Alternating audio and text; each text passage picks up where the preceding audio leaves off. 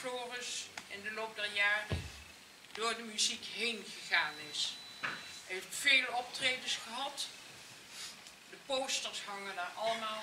Albert zal jullie daarover vertellen. Mag ik nu uitnodigen om samen met Albert, de groep is te groot om in één keer te gaan, dus ik wil het nu twee keer splitsen. Albert gaat met de panelleden, met het bestuur, eh, naar de ruimte daarachter om iets te vertellen daarover.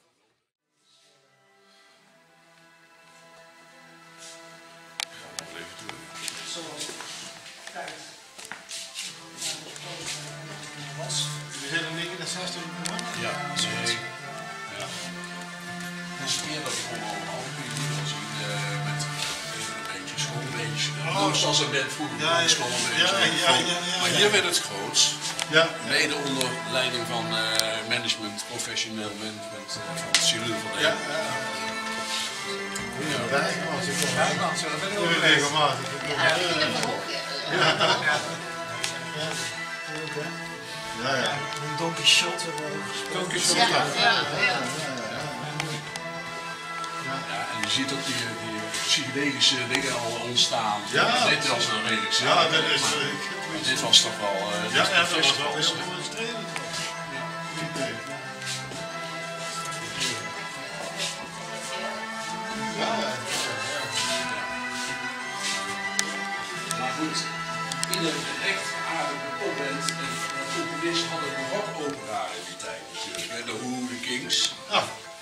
deed er ook niet voor onder. De Pauwen en wat. ah, En Tiel was een provinciaal plaatsje. Een beetje heel erg verzuild. ja.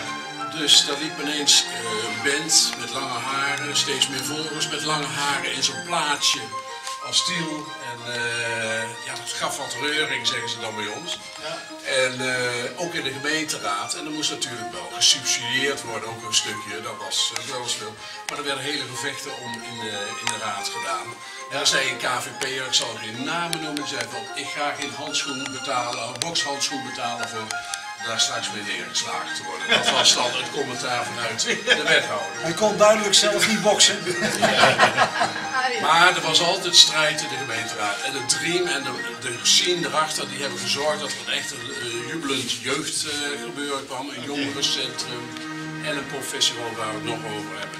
Maar dan zie je hier de ontwikkeling. En vooral ook de Rad, dat begon al gelijk al met 200 eh, telegrafen kapot scheuren of zoiets. Eh, De hele zaal, die lag helemaal onder de krant. Allemaal symbolisch. Bij de schoonmaak van de Schouwburg vonden ze drie weken daarna nog steeds snippers. Dus, Ja. Dat zit ook op de zaal. hè. Ja. En goed, de professionele management, eh Cyril van de Hemel. eh, de- het geluid werd groter, het werd eh, steviger, het werd echt een rock act. Ging naar alle grote festivals. Holland Pop Festival, Jazz Bielse.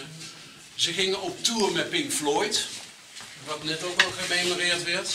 Met de Dream, en let even op, even groot. Even groot. En nog een eh, belangrijk detail is, daar staat hier iets. Is dat, is dat? Dat was de lichtshow, wat ook in, eh, in het Paradiso heel veel gebruikt werd. Er waren twee Amerikaanse jongeren, een jongen en een meisje volgens mij waren dat. Vier zelfs. En dat was de, die ging ook heel vaak met de Dream mee. Dat was de lichtshow van de Dream. Maar dat vond Pink Floyd ook wel heel erg leuk. En die teerde gewoon op het materiaal en de grondigheid van de Dream op dat moment. Dit is wat Jan Smeets net ook eh, schetste, het concert in deze reeks. Eh, het was een tour door, Amer of, eh, door Nederland, Amsterdam, de Doelen, nou, alle grote gebouwen. En natuurlijk hier in Maastricht ook bezig geweest. En daar heeft de Dream echt Pink Floyd weggespeeld.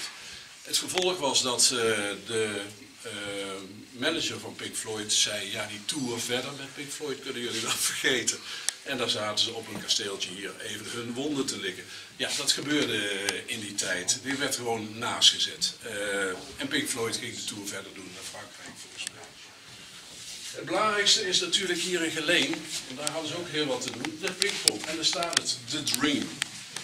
Eh, er zijn ook andere versies, maar eh, de band heette de, eh heette de Dream. En daar hangen hier fantastische mooie dingen op. Een goed overzicht van het van festival. We hadden die eerste hier in Geleen, 10.000 mensen. En een hele goede bezetting. Iemand zei één buitenlandse act. Ja, dat was ook maar Keith Hartling. Maar ja, het was toch wel op George Baker was een vreemde eend erbij natuurlijk. Living Blues was ook wel een begrip. En leuke nieuwe bands als Live en Opens. En Mr. Albert Show, volgens mij van Bertus Borg. Dat was ook een echt, echt goede band was dat. Dus dat was voor 2,50 was geloof ik. eh, de vorige was, was dat heel erg leuk om te doen. We gaan grap verder jongens. Mag ik even aanvullen, meneer Walmers? Sorry, ik wou even, dat is namelijk vergeten. Realiseert u zich, dames en heren, dat het vandaag 18 mei is. Dat Floris Kolvermach gespeeld heeft. Zo. Exact op dezelfde dag, 49 jaar geleden, speelde hij namelijk ook in Geleen. Vandaag, 18 mei. Ja,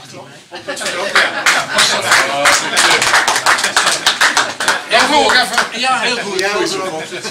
Zo zie je hoe tijd reist. Ja, ja. En feiten ontwikkelen. Hartstikke leuk. We gaan verder. We gaan even het festivalhoekje in. Loopt u mee? Eh, kijk, ik zei al net eh, hier. ehm, alle grote festivals heeft de Dream opgetreden. En Tiel was een klein provincieplaatsje. En die kon natuurlijk ook niet achterblijven met een eigen heus popfestival. Met toch eh, grote mensen. Appel. appel. Wat nu Appelpop is. dit is even misschien wel de voorloper. Nou, de voorloper van Appelpop. Ook een van de betere festivals in Nederland op het ogenblik. Maar let eventjes op. The Kings, Arthur Brown, Alan Price werd ziek, werd Cat Stevens, ook niet de minste. Cole Leering, Black Sabbath en The Dream. In het ochtendgloor, mistig, koud. Maar daar stond Floris met zijn band eh, echt op zijn plaatsje in Tiel ook nog een concert te geven. Dit was eh, een perfect festival. Helaas weinig bezoekers. Dat gaf ook weer gedoe in de gemeenteraad. Maar zo blijft hij wel actief. Toch houden. 2000 of zo. Ja, ja. heel erg goed. Nou, en veel in Limburg opgetreden. Schinnen was ook de Limburg volgens mij. Ja. Ehm, eh, wat ook zo leuk was, de Dream die kwam natuurlijk ook wel, moest ook af en toe wel eens een Tiel optreden. Ja, en eh, het nieuwe repertoire, een nieuwe show eventjes laten zien. Er werden de eh, zalen voor afgehuurd, maar die moesten wel volkomen. Het was natuurlijk een klein plaatsje. Slim idee was om Tielse jonge, nieuwe bandjes erbij te halen. Want die namen hun eigen scharen ook weer mee. En die bands konden spelen op een professionele installatie. Hartstikke leuk natuurlijk. Jeep was wel iets meer dan een bandje. Dat was eigenlijk, zeg maar, Floor schreef zoveel materiaal nog steeds aan songs. Ehm, ja, hij had een uitlaatklep ook nodig, nog buiten zijn eigen band. En er werd Jeep. En in de studio was het eigenlijk de Dream met een andere zanger. Maar eh, op de stage deed ze het trouwens hartstikke goed. Het was een hele leuke band. Nou, op een gegeven moment, 73, hield de Dream op met bestaan. We gingen andere wegen zoeken, de mannen allemaal. Floris ging een beetje in het eh Nederlandstalig over. En er waren bands als Mirakel, Mirakel Muziek. En die traden op, de jaren 80 moet je je voorstellen, halverwege de jaren 80, jeugdwerkloosheid. En die traden eh, op op allerlei festivals van linkse partijen, eh, eh, vakbondbijeenkomsten. Dat deed ze het heel erg goed. En dan speelden ze ook vaak het nummer Lena, een groot succes. Ging over een meisje. Er staat trouwens op de cd van het boek, staat die, ook, zit hij erin. En nog wat meer van het repertoire. En dat gaat echt over zo'n meisje, waar moet ik heen, werkloos en anderszins. Nou, dat waren die festivals ook heel erg goed. Dan gaan we weer een grap verder, want na de Nederlandstalige periode eh, kwamen we toch al een beetje in het synthesizer-tijdperk terecht. Maar ook de andere grote liefde van de Fl- Floris was film. Film maken, film kijken, eh, dingen doen.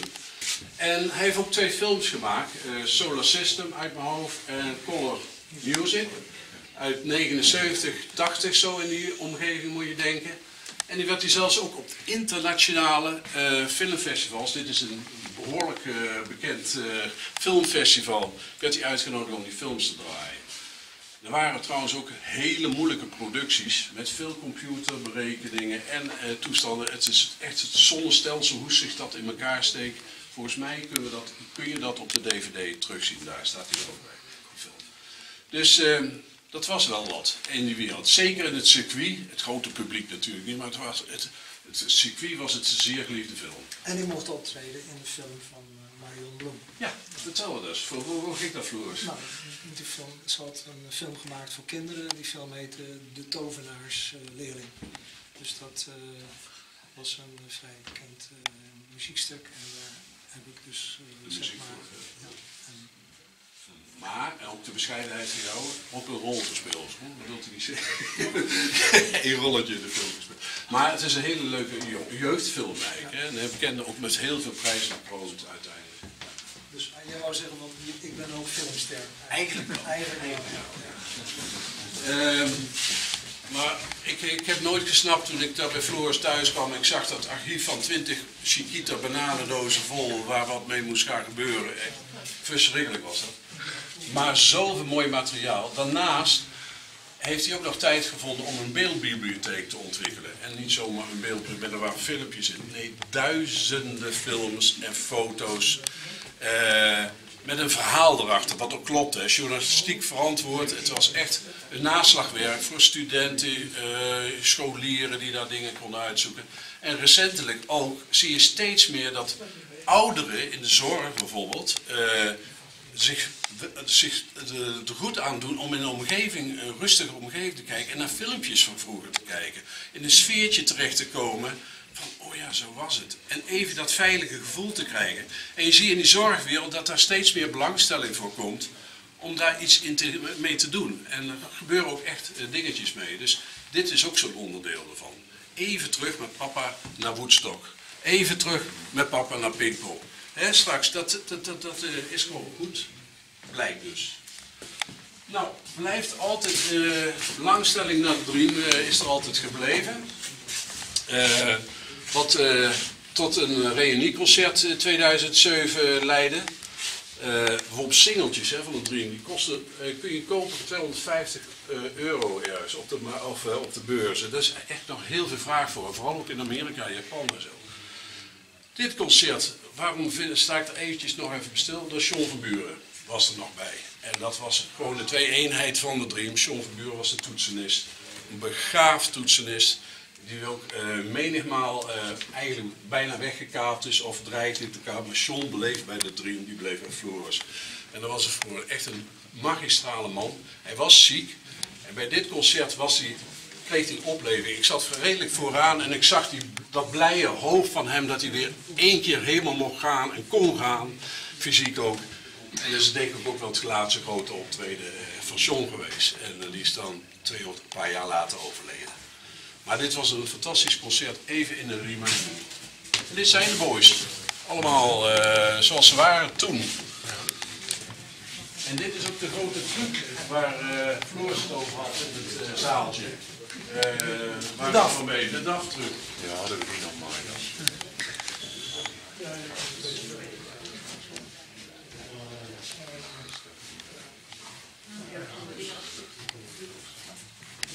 Dan gaan we eventjes naar het synthesizer tijdperk nog even. Dus het laatste stukje hebben jullie het gehad, deze grote wandeling. Ehm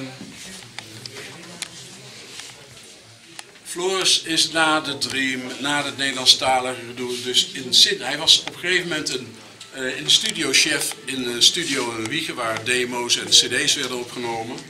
En er stond ook een synthesizer.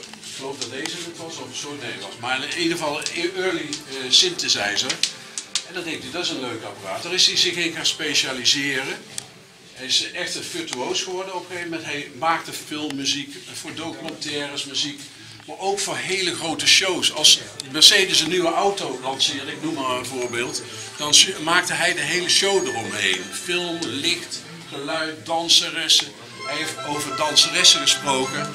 Ook eh, grote ballets gemaakt. Bijvoorbeeld één uitvoering in de Arnhem 750 uit mijn eh, hoofd. In de Eusebiuskerk. Daar heeft Floris dit soort muziek gemaakt met echt dansende meisjes. Maar ook met robotten. Die daar helemaal op elkaar afgestemd waren. Ook weer een hele nieuwe ontwikkeling. Floris liep altijd voor de eh, troepen uit, zeg maar, met bepaalde dingen. En het leuke is van het najaar, nee, volgende week, of de, die week erop al, zijn er gaat hij weer iets met robotten doen in Eindhoven en in oktober. Bij de Design de- ja, hè, dus er is weer ook daarvoor belangstelling. Ga jullie gewoon een beetje in de buurt gaan te kijken als het kan. Eh, wat zeg. Eh, die synthesizers, eh, nou ja goed, er werd, weer, nou, ik heb het eigenlijk ook wel verteld nu. Dus ja, die grote concerten, dat was echt de beleving. Dat ging echt van Parijs naar, ook in Nederland. Dus dat is een hele grote lange tijd geweest.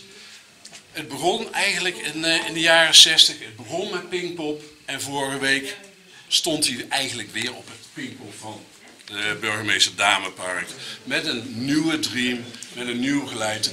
Zijn muziek heeft zich doorontwikkeld. En ik vond het echt een heel goed concert. En je zult allemaal maar moeten met 72. En eh, met jonge mensen weer om hem heen. Inspireren. En wat eh, de voorzitter ook van deze vereniging zegt.